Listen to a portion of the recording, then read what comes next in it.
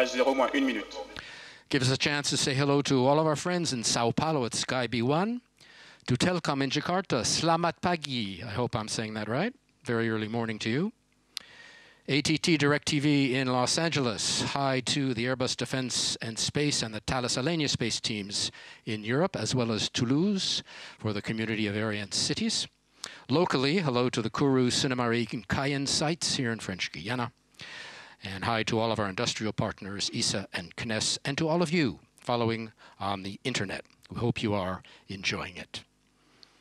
We're going to cut away, let you listen to the DDO as he calls out the final seconds. Watch for the cryo arms to open at minus five seconds. That sets À the tous ignition DDO, sequence attention pour rolling. le décompte final. Final countdown. 10, 9, 8, 7, 6, 5, 4, 3, 2, 1, top. Allumage Vulcain.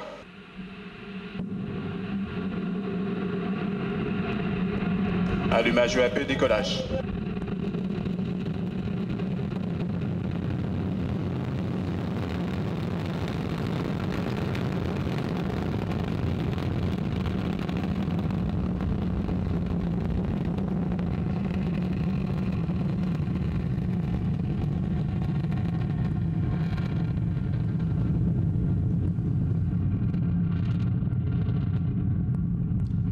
So right on schedule at 1839 local, Ariane 5 beginning her mission, lifting off perfectly and beautifully from the ground here in French Guiana with a lot Tous of fire. paramètres à bord sont normaux. streaking through the clouds as the DDO says all is well on board, beginning her mission, the second for Arianespace this year, with two new telecom satellites for major regional operators. The two boosters are now providing 90, that's 90% of the thrust, propelling the launcher along her trajectory at an ever higher velocity. 775 La propulsion tons is our mass at liftoff.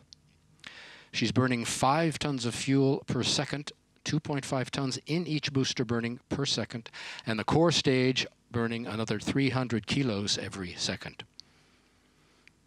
Ariane 5 is now following the program and the onboard computer, which gives all the orders, including stage separations, which we will soon see. We're in the first of four flight phases. We'll be describing each in turn and in detail so you can follow Ariane as she heads east across the Atlantic. Right now, the Tous first flight phase nominaux. The single. Vulcan core stage engine and the two boosters burning together. The boosters will burn their 240 tons in just over two minutes, and they're the first to be extinguished. You'll hear the DDO call out that milestone in about 20 seconds. We are 15 kilometers from the pad here, but even here you can feel the sensation of liftoff. If you're watching from the closest viewing station, less than four, five kilometers from the pad, you can really hear the noise and see the light. And you probably will be able to see the burnout of the boosters. That looks like the burnout of the boosters right there, picked up on the camera. Séparation des étages, accélération. DDO confirms it. You see the two orange points of light falling away on either side, and the white light in the middle, that's the core stage burning. The boosters, give you an idea what it looks like, fall uh, 500 kilometers from shore La in a protected area. nominale. There's a second booster out of camera range on the left, of course. French Guiana was in part chosen as a base for its opening on the water. We'll have a little more on that subject later on. For now, on the bottom of your screen on the left, our altitude approaching 100 kilometers. On the right, our speed, 2 kilometers La per second. trajectoire est nominale. The speed we need for satellite separation, roughly 9 kilometers per second. So keep your eyes on the numbers.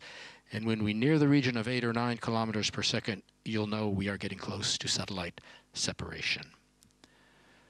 There is fairing separation, right on time, revealing to the elements. The blue part is the our first passenger, Séparation de la coiffe. Sky Brazil 1.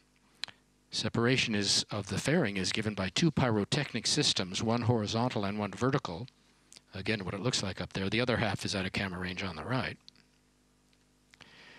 We can separate the fairing now because we're out of the dense layers of the atmosphere at over 100 kilometers up. There's neither friction nor heating which could disturb the passengers, and we also discard any dead whenever possible to maximize performance. The fairing weighs almost two and a half tons, so we can get rid of it now. Début de la manœuvre en roulis. We're into the second powered flight phase. The boosters have done their work. Only the single lower stage engine still burning now. It'll burn for about nine minutes in all. Our speed is important now, and that's the role of the main stage. Cryogenic propellant is not only highly efficient, but provides a push that can last for a long time. You have noticed that there are different propulsion systems on Ariane 5. Cryogenics, as used in the main stage, are more efficient than solid propellant, which is used in the boosters.